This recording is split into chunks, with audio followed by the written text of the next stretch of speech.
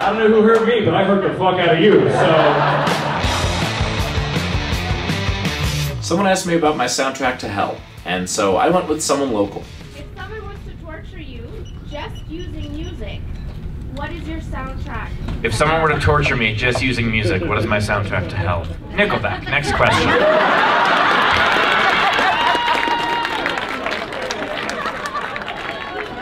Look at this photograph. I don't want to fucking look at this photograph.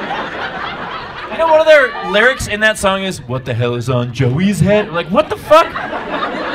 You wrote a song about that? That's what happened. They had a deal with their, like, I think with their music publisher, they had a deal. They had to have a certain number of songs in the album. They they needed one more, and then there was just, what do we do? And some guy's like, hey, look at this photograph. And they're like, all right, fine, print it. Let's do it. Let's... What the hell is on Joey's head? Be like, what the hell is on Joey's head? This came during one of the Q&As in El Paso. Who hurt you? Who hurt me?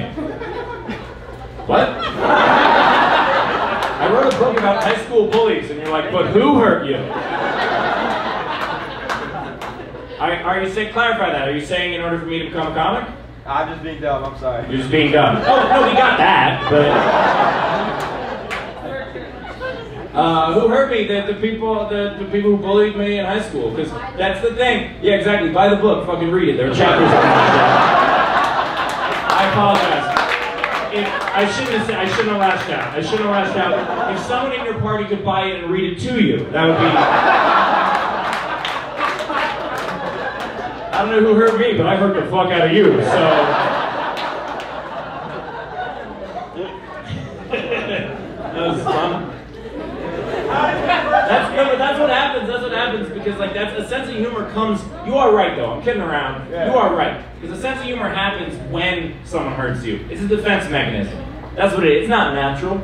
It's that if you, you're no one's born funny. You get funny when you're pushed around too much.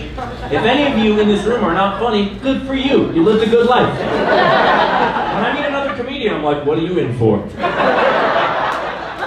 I talked to him after the show. Nice guy. And I appreciate that he was cool with me firing back. Thanks for watching, for subscribing on YouTube, and for liking my page on Facebook. Make sure to support the Patreon because when you do, you get to see videos like this before anybody else. And watch me in your city. If I don't have any shows coming up, just bug your local venue. When enough people tell them to bring me in, they usually do.